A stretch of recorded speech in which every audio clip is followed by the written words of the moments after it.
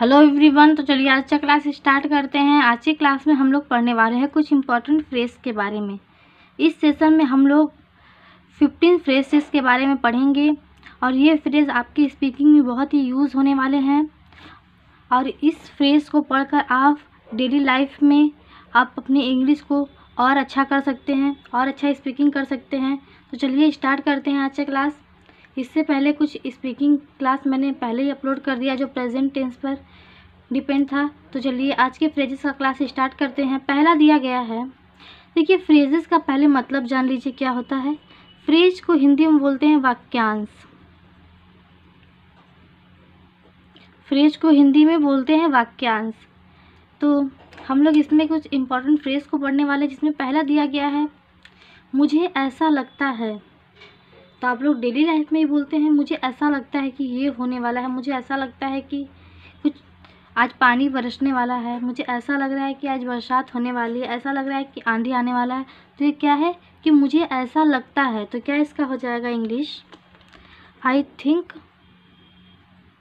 सो मुझे ऐसा लगता है आई थिंक सो कुछ समय तो क्या हो जाएगा? सम टाइम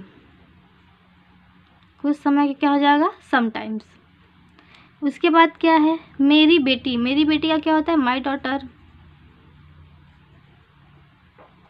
मेरी बेटी को हम लोग बोलते हैं माई डॉटर इसके बाद क्या है? अगला स्टेशन अगला स्टेशन अगला का मतलब क्या होता है? नेक्स्ट नेक्स्ट स्टेशन लिख देंगे हम लोग। उसके बाद है बहुत पुराना। बहुत पुराना का मतलब क्या होता है? वेरी ओल्ड मुझे चाहिए मुझे चाहिए तो आई नीड मुझे चाहिए आई नीड विशेष रूप से, विशेष रूप से, इसका क्या हो जाएगा हमारा? स्पेशली विशेष रूप से क्या होता है? स्पेशली उसके बाद है आर्थिक रूप से कमज़ोर। जैसे सब लोग बोलते हैं ना कि आर्थिक रूप से कमज़ोर हैं तो क्या होता है? इसका इंग्लिश में क्या बोलते हैं? इकोनॉमिकल वीक इकोनॉमिकली वीक आर्थिक रूप से कमज़ोर क्या बोलते हैं? इकोनॉमिकली वीक उसके बाद क्या है? अंतिम निर्णय अंतिम निर्णय का मतलब क्या होता है? लास्ट डिसीज़न या फिर फाइनल डिसीज़न फाइनल डिसीज़न या फिर लास्ट डिसीज़न इसे आप लोग लास्ट डिसीज़न भी कह सकते हैं या फिर फाइनल डिसीज़न उसके बाद है बिल्कुल सही बिल्कुल सही को क्या बोलते हैं? एग्जैक्टली या फिर अब्सल्यूटली राइट अब्सल्यूटली राइट आप लोग बोलते हैं एग्जैक्टली exactly, बिल्कुल सही. और अब्सल्यूटली राइट बिल्कुल सही. दोनों का मतलब एक ही होता है। उसके उसके बाद क्या है? वैसे भी. वैसे भी का क्या होता है? एनी वे एनी वे वैसे भी एनी वे उसके बाद क्या है? अकारण। अकारण का मतलब होता है कि अनरीज़न कोई रीज़न का है नहीं अनरीज़न है तो अनरीजनेबल अकारण। क्या हो जाएगा? अनरीजनेबल उसके बाद है कोई कारण नहीं, और अकारण का मतलब होता है अनरीजनेबल कोई कारण नहीं का मतलब होता है नो रीज़न नो रीज़न बोलते हैं कोई कारण नहीं है नो रीज़न विशेष विशेष का मतलब क्या होता है? पार्टिकुलर पार्टिकुलर कोई विशेष चीज़, कोई पार्टिकुलर चीज़। तो इसको क्या बोलते हैं? पार्टिकुलर उसके बाद अंतर्राष्ट्रीय राजनीति, अंतर्राष्ट्रीय को क्या बोलते हैं? इंटरनेशनल इंटरनेशनल अंतर्राष्ट्रीय को पॉलिटिक्स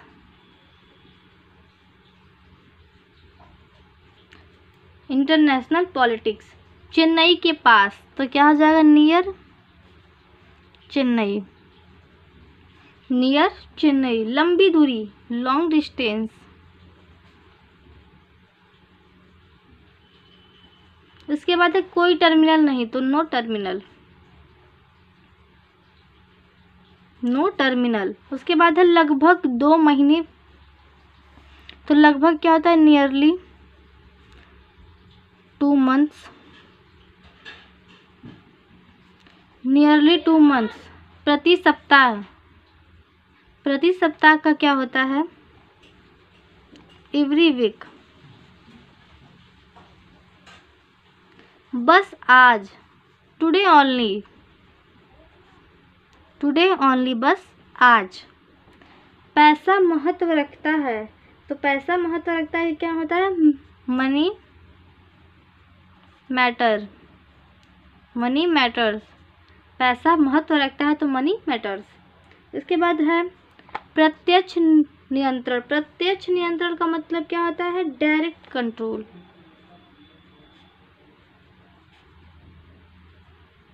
डायरेक्ट कंट्रोल उसके बाद है, सिफारिश करना. सिफारिश करना का मतलब होता है रिकमेंडेशन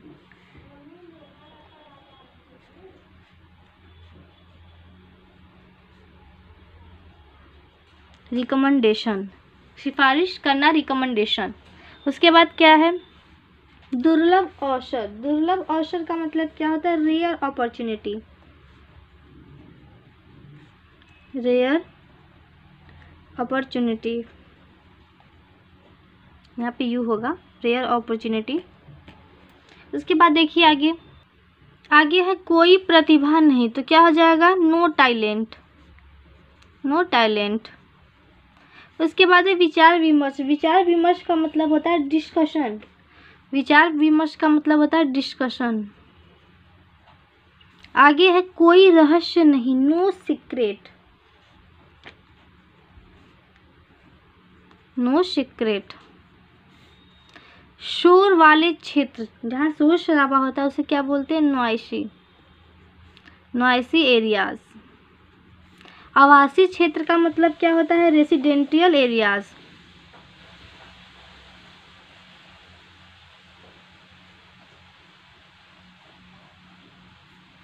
उसके बाद क्या दिया गया? सफलतापूर्वक। सफलतापूर्वक का मतलब क्या होता है? सक्सेसफुली सक्सेसफुली को क्या बोलते हैं? सफलतापूर्वक। उसके बाद ताज़ा खबर। ताज़ा खबर को क्या बोलते हैं? लेटेस्ट न्यूज़ है। ताज़ा खबर है, लेटेस्ट न्यूज़ है। हमेशा की तरह, हमेशा की तरह का मतलब क्या होता है? एज़ यूज़ुअल एज़ यूज़ुअल का मतलब क्या होता है? हमेशा की तरह। बस महान है का मतलब होता है सिंपली ग्रेट बस महान है सिंपली ग्रेट मैंने देखा आयशा कोई रिलीज़ नहीं। क्या हो जाएगा? No release. कोई रिलीज़ नहीं का मतलब क्या होता है? No release. No release. मेरी राय। मेरी राय का क्या होता है? माई ओपिनियन घर पर रहो। स्टे एट होम घर पर रहो का क्या होता है? स्टे एट होम वापस जाना मूव बैक वापस जाना क्या होता है? मूव बैक ज़रूरी का होता है नेसेसरी ज़रूरी का क्या होता है? नेसेसरी कृपया समझाएँ. कृपया समझाएँ का मतलब क्या होता है? जैसे बोलते हैं हम लोग, कृपया हमें समझाएँ तो क्या बोलते हैं? Please explain please explain. उसके बाद है परंपरागत। परंपरागत का मतलब क्या होता है? जो चीज़ परंपरागत हो, ट्रेडिशनल हो, उसे क्या बोलते हैं? परंपरागत, ट्रेडिशनल। उसके बाद पहली प्राथमिकता। पहली प्राथमिकता का मतलब क्या होता है? First priority. First priority. पहली प्राथमिकता। उसके बाद है शर्त ही नहीं नो कंडीशन शर्त ही नहीं नो कंडीशन मेरा ज्ञान मेरा ज्ञान का मतलब क्या हो जाता है? माई नॉलेज निजी राय निजी राय का मतलब क्या होता है? निजी का मतलब क्या होता है? पर्सनल राय का मतलब क्या होता है? ओपिनियन तो क्या हो जाएगा? पर्सनल ओपिनियन बुरा नहीं को क्या बोलते हैं? नॉट बैड नॉट बैड मैं डाइट पर हूँ। आई एम इन डाइट मैं डाइट पर हूँ। फैसला का क्या होता है? डिसीज़न डिसीज़न का होता है फैसला। धीरे धीरे का क्या होता है? ग्रेजुअली धीरे धीरे का क्या होता है? ग्रेजुअली